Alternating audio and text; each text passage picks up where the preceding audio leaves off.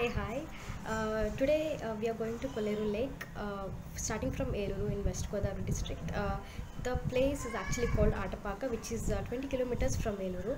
I'm going along with my family. It's almost lunchtime, so uh, we are packing our lunch and going there. So we'll have a lunch and get a view of beautiful birds there. Yeah, here it is. You can see a lot of birds in the middle of the lake, right? You need to reach there by uh, boat.